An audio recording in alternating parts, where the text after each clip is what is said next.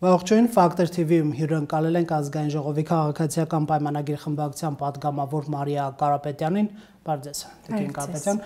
Ռուսաստանի Դաշնության բարձրաստիճան երկու պաշտոնյա խոսում են Հայաստանից ստանալիք Միչանսկի մասին կամ ավելի շատ պրոմիչանսկյան, այսպես ասենք, հա, հայտարարություն է լինում։ Առաջինը Ապեդումայի ԱՊ հարցերով հանձնաժողովի առաջին փոխնախագահ Կոստանտին Զատուլինի հայտնի պնդումն է, որ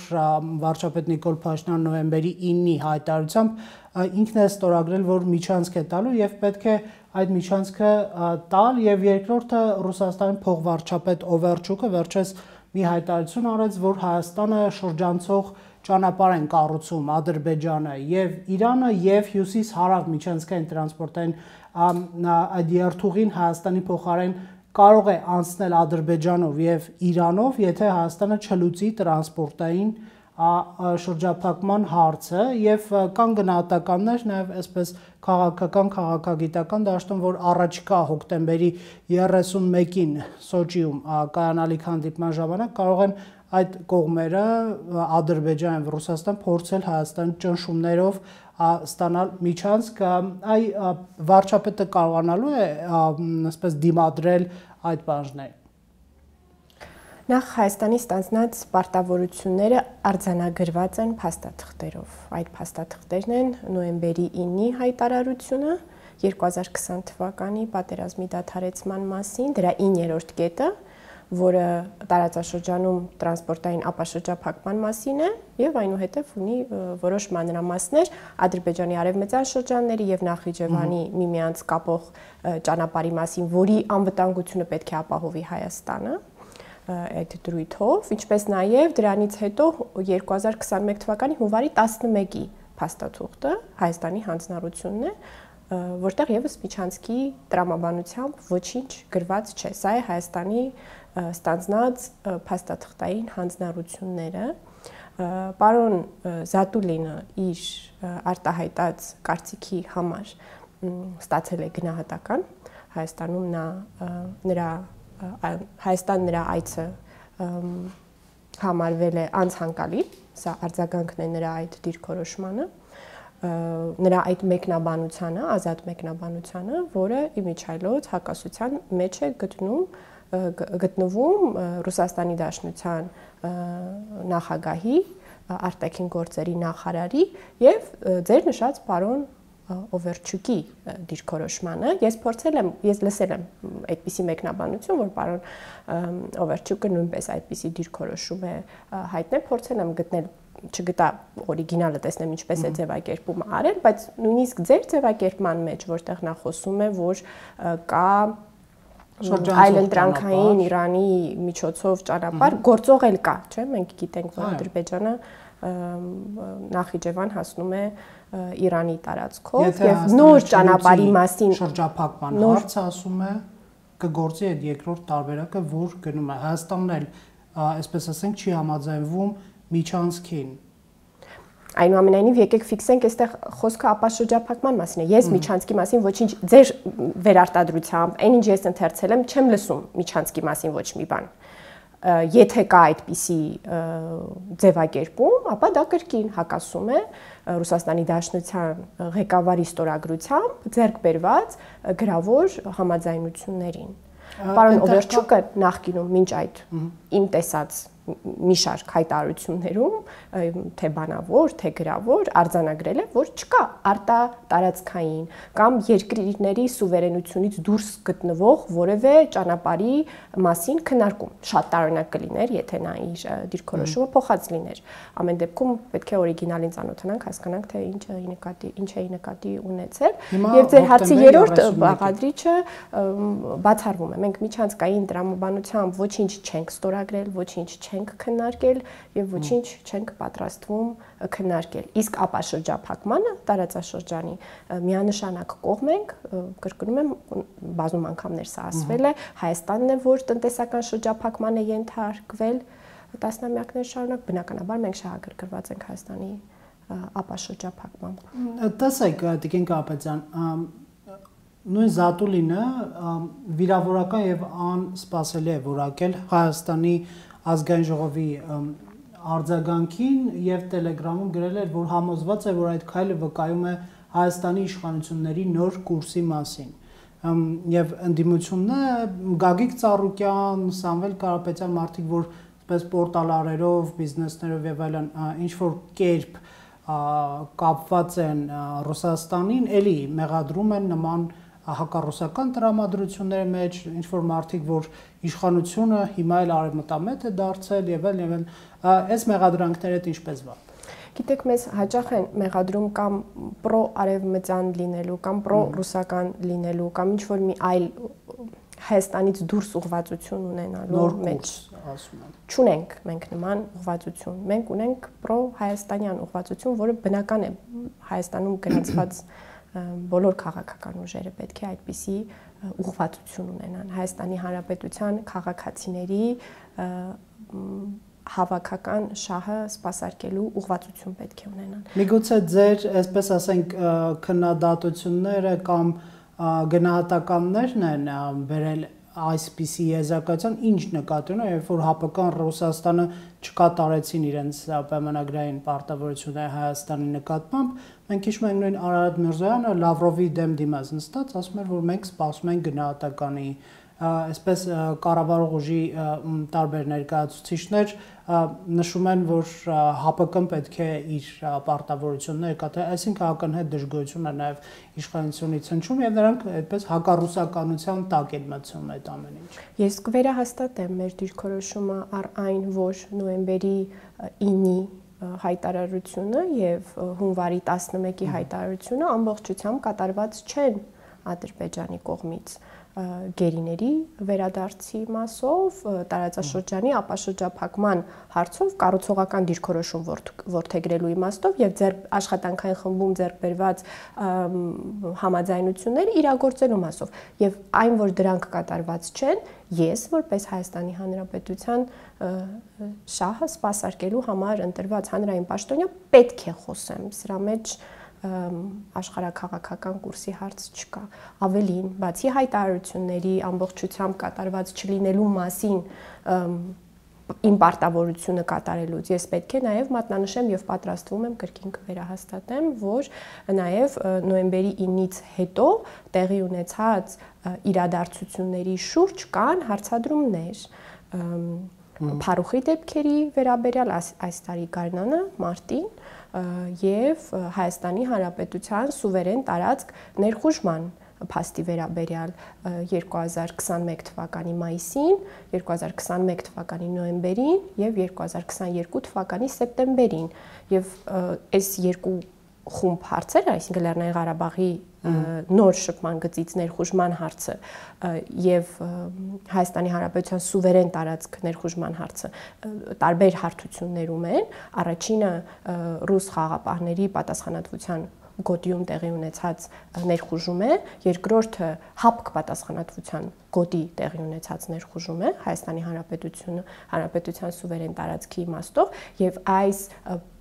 փաստերի արձանագրումը եւ դրանց վերաբերյալ դիրքորոշում առնվազն քաղաքական գնահատական, որից այնուհետև կարող են բխել գործողություններ պահանջելը իմ պարտքն է։ Այդ տեսեք, հնչում են այն մարդիկ, ովքեր այստեղ փորձում են ավելի տեսնել, ավելի ձևակերպել, ավելի սրել իրենց շահերի սպասարկման տեսանկյունից, պատասխանի կարժանանան։ Դա հակառուսականություն չի խնդիրների մասին արձանագրելը բնավ ոչ։ Դե իշխանություն դրանով է զբաղված։ Բնավ ոչ։ Շատ սխալվում են այն մարդիկ, ովքեր կարծում են, որ որ կարծում են, որ խնդիրների մասին չխոսելն է, որ պետք է հանգեցնի այդ խնդիրների լուծմանը, որովհետև տրամաբանությունը այդպեսին է դուրս գալիս։ Ընթակարակը պետք է խոսենք, որպեսի հնարավորություն ստեղծվի այդ խնդիրների լուծման։ ռուսական հարաբերությունը, սա է նաև այդ դիմադիր ուժերի տարբեր մարդկանց մեղադրանք։ Դա ինչու Նիկոլ Փաշինյանը հին մեղադրանք է, բայց ելի այս օրերին հնչում է չգնաց Վլադիմիր Պուտինին օթանավականում դիմա դիմավորելու կամ Խաչատուրովին այսպես ոչ գեղեցիկ ձևով հետ կանչեցին։ Այդ դրա համար էլ ՀԱՊԿ-ն չի աջակցում, Ռուսաստան չի աջակցում։ Սա ձեր ընդդիմադիր խորհրդանական գործընկերների քննադատություններն են այս օրերին, ասում են ձեր գործողություններում տեսեք այդ խնդիրը։ Գիտեք, այդ այդ նույն մարդիկ նաև Հայաստանին մեղադրում են պատերազմ հրահրելու մեջ ես լավ չեմ պատկերացնում։ Նիկոլ Փաշինյանին են ավելի շատ մեղադրում։ Բայց Նիկոլ Փաշինյանը ընտրվել է վարչապետ Հայաստանի Հանրապետության ժողովրդի քվեով։ Դա դրանք այսպես ասած, քանի դեռ կառավարող ուժն ես երկրի, հանդես ես գալիս այդ երկրի անունից չես կարող տարանջատել ժողովրդավար ճանապարհով ընտրված իշխանություններին ժողովրդից եւ պետությունից, հա։ Այդ այդքան հերու կարող են այդ մարտիկ գնալ մեղադրանքի պատասխանատվության բեռը դնելով թեկուզ իրենց մղումներում իբրև թե կառավարող ուժի վրա են դնում, բայց ակնբախ է դառնում, որ Հայաստանի վրա են դնում այդ բեռը։ Լավ, քաղաքացիներն այդուհանդերձ Հայաստանի կառավարող ուժը պետք է պատասխան տա դուք պետք է պատասխան տաք ինչ պատասխան եք ստանում Ռուսաստանի Դաշնությունից հապկից ինչու որովհետև Տիկին Կարապետյան Հայաստանի իշխանությունները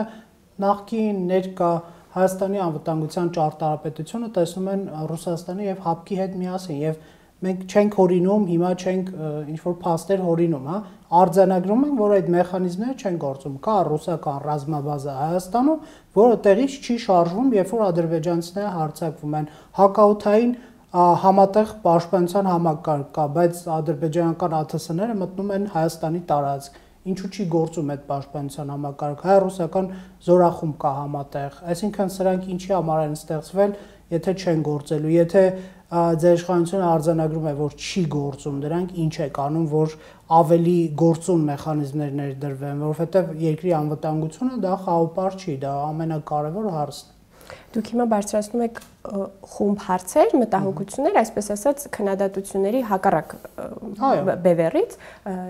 Ես դրանք ամբողջությամբ կիսում եմ, մեր հանրությունը եւս մի լայն մաս այդ հարցերը բարձրացնում է մեր արչև եւ մենք փորձում ենք այդ հարցերի պատասխանները գտնել։ Այստեղ շատ կարեւոր է հավասարա կշռված լինել,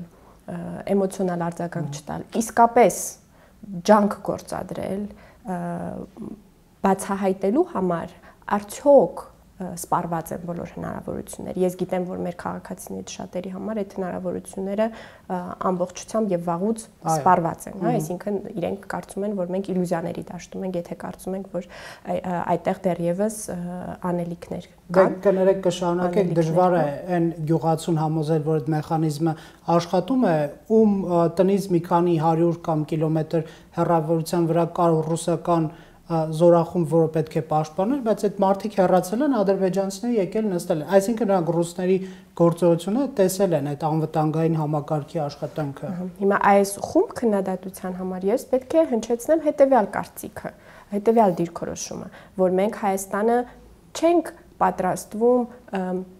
հապճեպ լինելու կամ արագ արձագանքելու տրամաբանության մեջ ներքաշել աշխարհակաղակական արճակատման մեջ։ Այսինքն մեր արժև խնդիր դրված չէ աշխարհակաղակական կուրսի փոփոխության։ Մեր արժև խնդիր է դրված Հայաստանի շահերի լավագույն սպասարկման եւ այդ տրամաբանության մեջ մենք պետք է օգտագործենք մեզ համար հասանելի բոլոր գործիքները, հարթակները, հնարավորությունները, մեխանիզմները։ Իսկ եթե իշխանությունը բազմիցս փաստերով համոզվում է, որ չի գործում այս համակարգը, ինչ է հորինվելու դրա փոխարեն։ Ասենք ես հիշում եմ BBC-ին Զորաբ Մնացականյանի նախկին արտգործնախարարի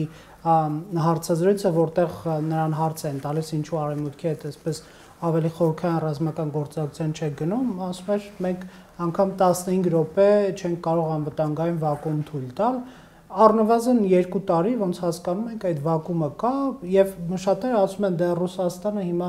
ուկրաինական պատերազմում է, չի կարող այստեղ ավելի ակտիվ լինել, բայց մոռանում են, որ 2021-ի մայիսին ուկրաինական պատերազմ չկար, նոյեմբերին չկար, 20 թվականի պատերազմի ժամանակ չկար, այսինքն սա կոնկրետ վերաբերմունք է, ոչ թե զբաղվածություն։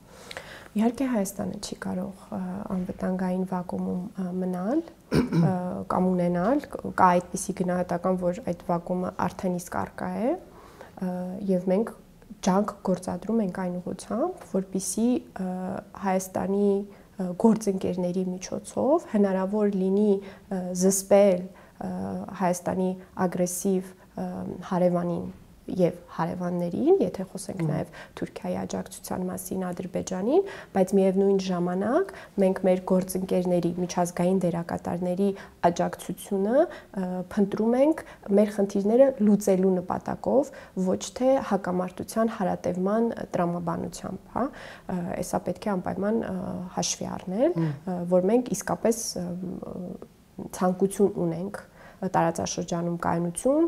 երկարատև խաղաղություն հաստատելու եւ այս տեսանկյունից ջանքեր գործադրում ենք բոլոր ուղություններով։ Այսինքն ենթադրյալ աջակցությունը կամ ռազմական,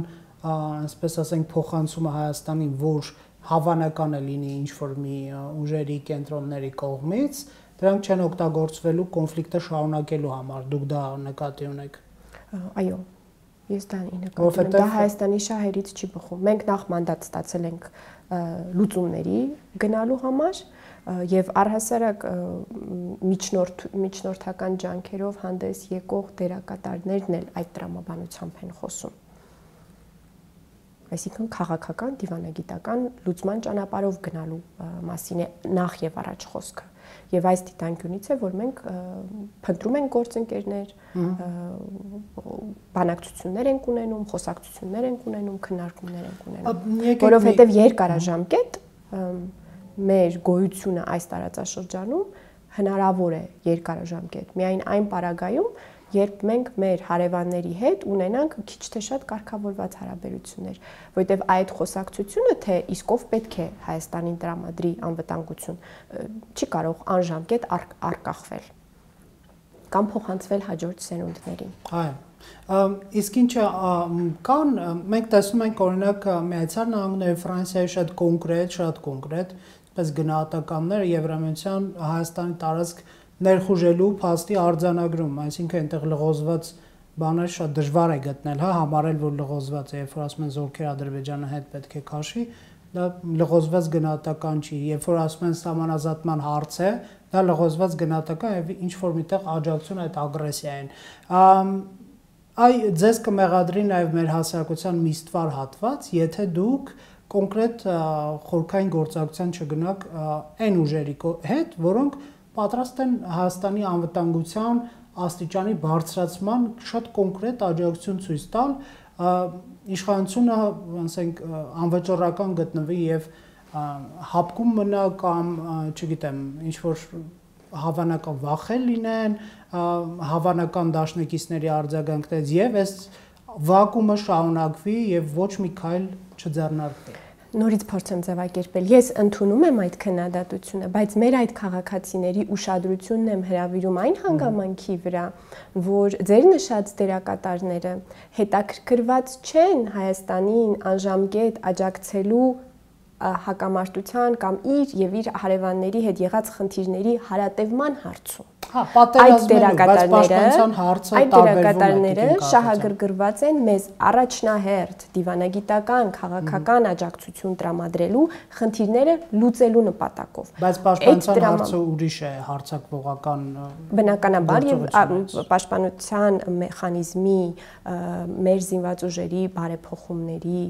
մասին հարցերը առանձին բլոկ հարցեր են պետք է քննարկվեն եւ երևի թե ոչ հրաապարակային։ Ես խոսում եմ ավելի շատ քաղաքական դիվանագիտական հարթության մասին, հա։ Մենք պետք է հասկանանք, որ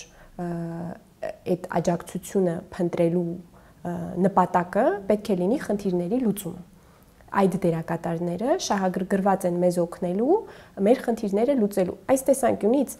բացի նրանից որ Հայաստանը պետք է լինի կամ Հայաստանի քաղաքական ուժերը պետք է լինեն Հայաստանամետ ինչը տրամաբանական է պետք է Հայաստանը կենտրոն Հայաստանը կենտրոն կամ ինչպես կուզենք կձևակերպենք արտաքին քաղաքականության տեսանկյունից նաև տարածաշրջանային բաղադրիչ պետք է լինի Այսինքն քանի դեռ մենք որպես հանրություն, այդ մեր բոլոր քաղաքացիները մեր երևակայության մեջ չենք ձևավորում տեսլական որտեղ մեր տարածաշրջանում համակեցության հնարավորություն կա, ինչը իհարկե շատ դժվար է։ Մեր վրա հարցակվում են, մեր հարևանները ագրեսիվ են դա հասկանալի է, բայց այդ տարածաշրջանում շարունակել ապրելու տրամաբանությունը պետք է լինի խնդիրների լուծման ճանապարհով։ Եվ այստեղ է որ Հայաստանը ունի դաշնակիցներ այս կամ այն չափով։ Հայաստանը ունի դաշնակիցներ այս կամ այն չափով կամ վարչապետի ապրիլյան իր ելույթում նշած միջազգային կոնսոլիդացիան իր շուրջ եւ Արցախի շուրջ արդյոք ունի, արդյոք այդ խոստումը կամ չգիտեմ հայտարարություն կատարվել է, բայց այնտեղ մի նշում էլ կար կարգավիճակի նշաձողի իջեցման պարագայում։ Կարող ենք այսօր փաստել, որ համաձայնվել է իշխանությունը կարգավիճակի նշաձողի իջեցմանը եւ ստացել է միջազգային կոնսոլիդացիա։ Այդ ելույթը իհարկե շատ քննարկված ելույթ է, բայց մենք ելի պետք է արձանագրում կատարենք։ Լեռնային Ղարաբաղի կարգավիճակի նշաձողը որտեղ է եղել բանակցությունների ողջ ընթացքում? Դե մեր պատկերացումներում ամենաբարձր անկախ տեղում եւ այդ խնդրից պետք է սկսենք հենց հիմա էլ Արցախի իշխանությունն ասում է ոչ բարենպաստ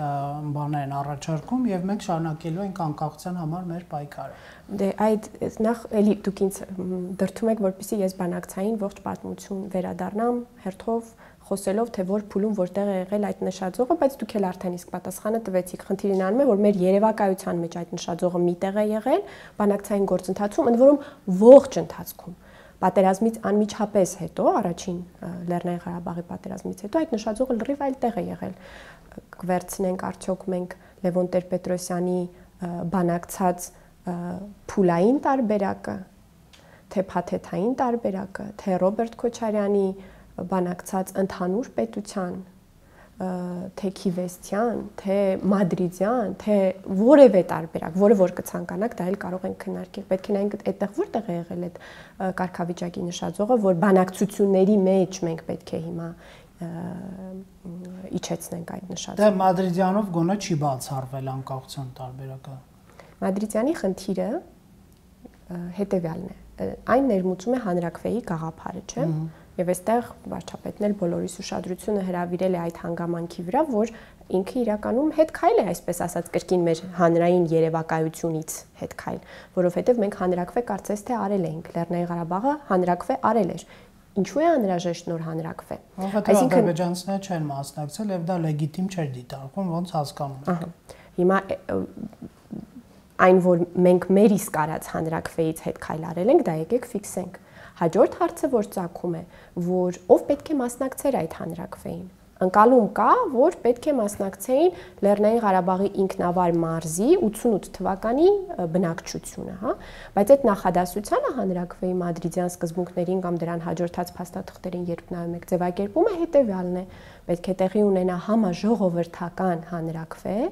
որը կարտացոլի Լեռնային Ղարաբաղի բնակչության կամքը։ Ինչ է նշանակում համաժողովրդական հանրակրվե, որտեղ ժողովուրդ բառն է օգտագործում, որ ժողովրդի մասին է խոսքը։ Լեռնային Ղարաբաղում բնակվող ժողովուրդ, որը պետք է արտացոլի Լեռնային Ղարաբաղի բնակչության, ինչի՞ չի գրած այդտեղ ժողովուրդ, եթե նույնական են այդ երկու տերմինները,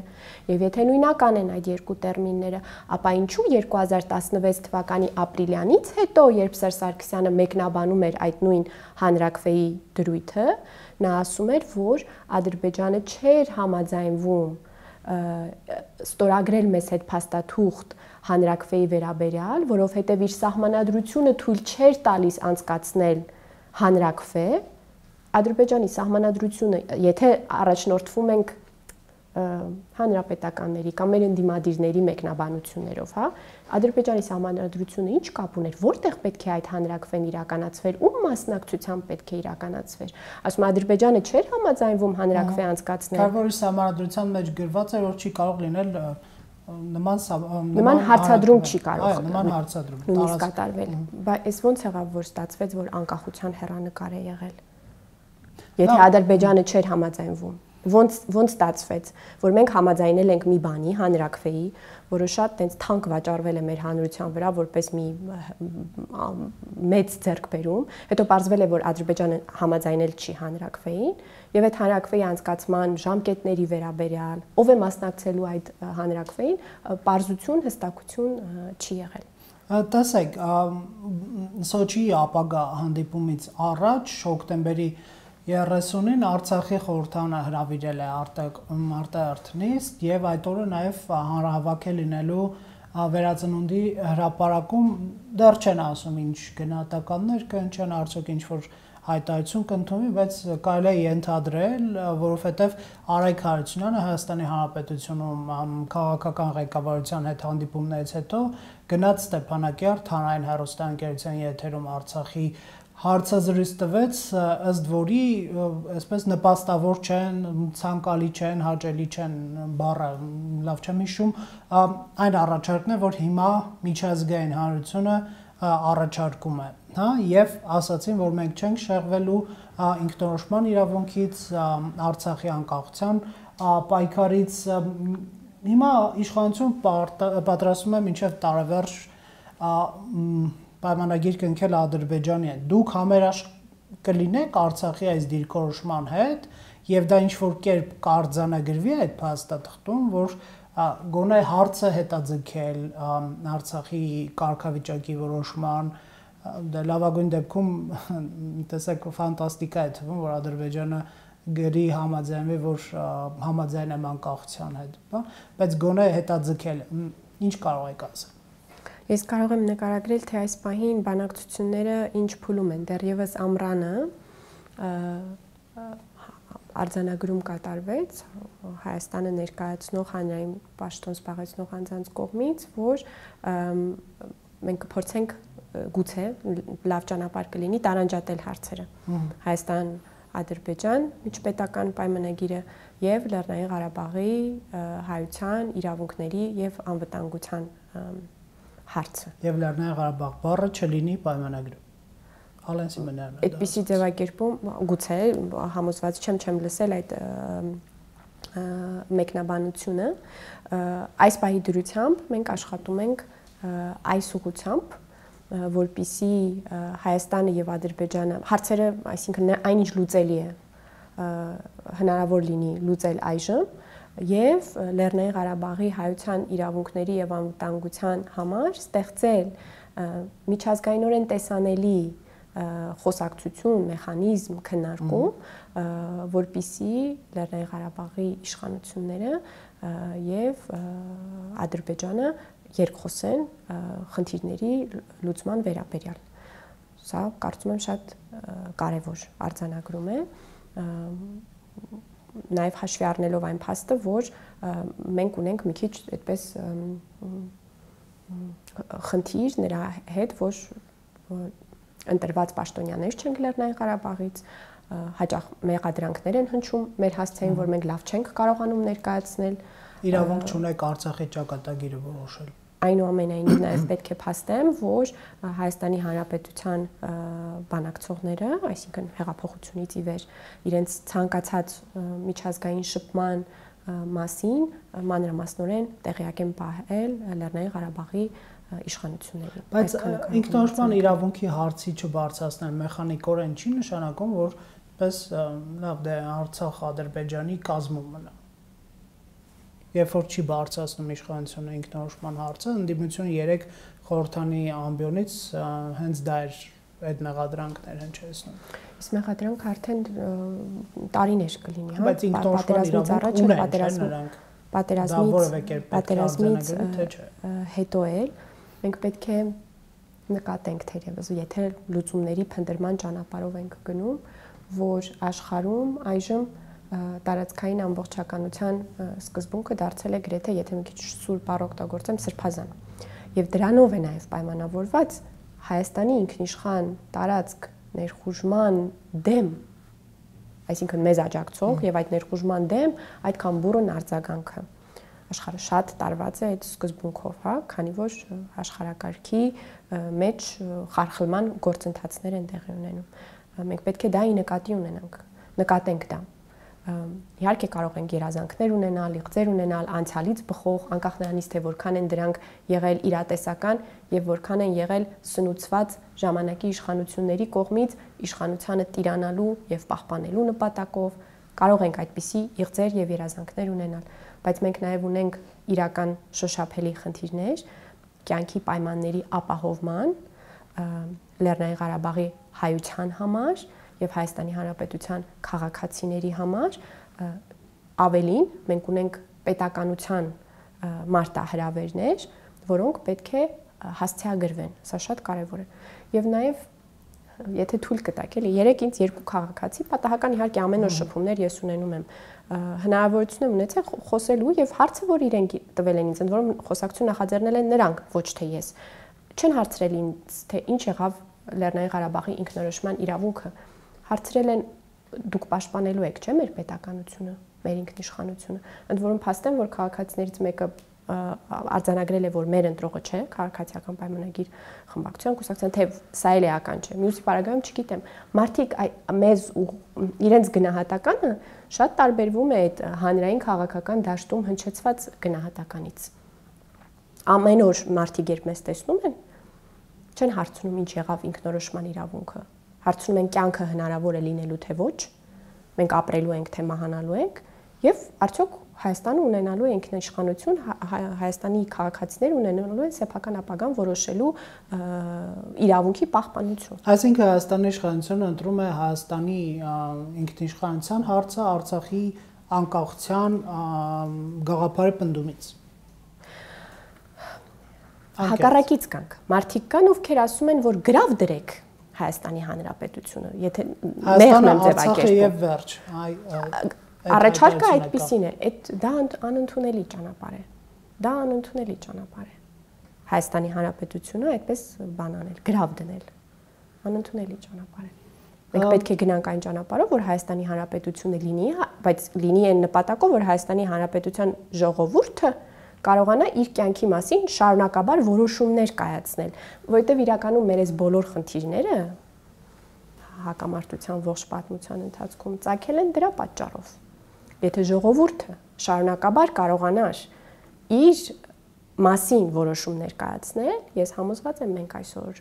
այսօր չենք լինի։ Այսօր էլ հոկտեմբերի 27-ն է այդ համատեքստում եւս անհրաժեշտ է շեշտել սա, որ եթե մեր ժողովուրդը շարունակաբար իր մասին որոշումներ կայացնելու հնարավորություն ունենա, մեր խնդիրները կլուծվեն։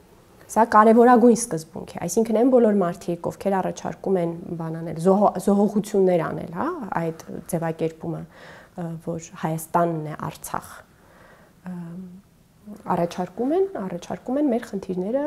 խորացնել, հրաժարվել մեր պետականությունից, ինքնիշխանությունից, մեր մասին որոշումներ կայացնելու իրավունքից։ Բայց եկեք այնտեղ էլ բարձրություն մտցնենք, հա։ Արեգ Հացինյանը ասում է, դեռ պետք է գնահատել, հա, արդյոք ինչ է տալուց Բաքվի այդ խոսակցությունը եւ քաղաքական ուժերը որոշում կկայացնեն, արդյոք ընդունում են այդ առաջարկությունը, ինչ լիազորություններ են ունենալու, այս հարցերն ունեք պատասխան այդ հարցերը դեռևս պատասխան չունեն, դեռևս կա ընդհանուր այդպիսի ըմբռնում, ընկալում, որ պետք է միջազգայինորեն տեսանելի քննարկում ընթանա։ Մի բան, որի հետ Ադրբեջանը համաձայն չէ։ Ստեփանագերտի եւ Բաքվի միջև։ Համաձայն չէ միջազգային երաշխիքներին Ադրբեջանը վերջին քարակող միջազգային երաշխիքներ ձևակերպման ոչ, բայց վերջին քարակող հանդիպումից հետո արված հայտարարության մեջ կա արձանագրում սրա մասին։ Այո, Ալիևը ասաց ես կխոսեմ, բայց առանց միջազգային երաշխիքների չունեմ կարիք որևէ միջնորդության։ Հիմա էլ խոսում եմ, ասում եմ տեսա քննարկման բայց այստեղ հավասարակշռության նժարը ակնհայտ տարբեր կլինի, եթե միջազգային երաշխիքների պարագայում մի փոքր կարող են ասենք միջազգային դիտորդները, մասնակիցները հավասարակշռել եւ արհեստական այսպես ճնշումներ օրինակ թույլ չտալ, եթե միայն երկուսով լինեն ակնհայտ է, չէ՞, այսինքն Հայաստանն է հիմա պրոբլեմ ունենում հավասար խոսելու, ինչ մնաց Արցախը։ Ամեն բարագայում եկեք ֆիքսենք, որ հակամարտության ողջ ընթացքում Ադրբեջանը եկել է բանակցությունների այսպես ասած սեփական կամքով նույնիսկ պատերազմից հետո երբ ասում է որ Հայաստանի հետ խոսելու բան չունի արձանագրում է չէ շարունակաբար արձանագրում է բայց բոլոր հանդիպումներին գալիս է ճիշտ է արձանագրում է մի բան բայց հանդիպումներին խոսակցություններին գալիս է միջազգային դերակատարներն էլ որոնց Ադրբեջանը փորձում է դուրս մղել այս կամ այն կերպ ասելով ձեր միջնորդությունը չեմ ընդունում միևնույն է ինչ որ process շարունակվում է ընթանալ խոսակցություն ընթանում է հիմա մենք պետք է այս ճանապարհով գնանք փորձելով հենվել հնարավոր լավ կետերի վրա, լավ հնարավորությունների վրա։ Եթե այդ խոսակցությամբ կարողանալու ենք պահպանել մեր դե ֆակտո անկախությունը, կանոնությունը, խաղաղությունը, այդ հանդիպումների ընթացքում մեզ համար կենսական հարցեր բարձրացնել եւ լուծել, պարտավոր ենք հանդիպել, ասում է Արայիկ Հարությունյանը, իհարկե չզիջելով մեր ինքնորոշման իրավունքը եւ կասկածի տակ դնելով մեր անկախության ճանապարհը։ Այ Բաքվի հետ այդ խոսակցությունը նշանակելու է դե ֆակտո անկախության կորուստ։ Ես չեմ կարծում, որ որևէ խոսակցության մեջ ներգրավվելով որևէ բան զոհաբերվում կամ նսեմացվում է նույնիսկ կարելի է հակառակը պնդել ես իհարկե այդքան հեռուն չեմ գնա սուբյեկտայնության բարձրացման մասին ինչ որ հայտարարություններ անելով բայց խոսակցության մեջ լինելը շատ կարևոր է երկ խոսելը սեփական խնդիրների մասին խոսելը եւ ուղիղ խոսելը շատ կարևոր է գիտեք որ նաեւ մեր Հայաստանի Հանրապետության պարագայում մենք Հայաստան-Թուրքիա խոսակցության երկխոսության, բանակցության ջատագով ենք եղել։ Առհասարակ որպես այդպես կոնցեպտուալ մոտեցում պետք է որթեգրել, որ բոլոր դերակատարները սեփական խնդիրների լուծման համար առաջնային երկխոսող օղակը լինելուց միայն այդ պարագայում շահում են վաղ կա որ դե ֆակտո անկախությունը կկորցնեն այդ խոսակցության ժամանակ։ Իսկ կարող է ինչպես ինչպես կլինի որ խոսելու պարագայում կկորցնեն։ Չէ, խոսակցության ընթացքում, ոչ թե պարագայում, այլ ընթացքում։ Այ դա վախ է, դա հաստատ վախ է, այնպես չի որ չխոսելով ավելի է ամրապնդվում շահը։ Առհասարակ տարածաշրջանին հետ մեջքով շոճվելով, չերխոսելով, այնպես չի որ շահերը լավ են սпасարկվում։ Դա մեծ թյուրն բռնումն է։ Ինչպես Հայաստանի Հանրապետության պարագայում է դա երկար ժամանակ այդպես եղել։ Այդպես էլ հնարավոր է Լեռնային Ղարաբաղի։ Ես իհարկե հույս ունեմ, որ այդպես չի լինի որ մենք տեր կկանգնենք մեր խնդիրներին, մեր օրակարգերին եւ կխոսենք մեր հարևանների հետ։ Շնորհակալություն զրույցի համար։ Շնորհակալ։ Factor TV-ում հյուրընկալել ենք ազգային ժողովի քաղաքացիական պայմանագիր խմբակցության պատգամավոր Մարիա Կարապետյանին։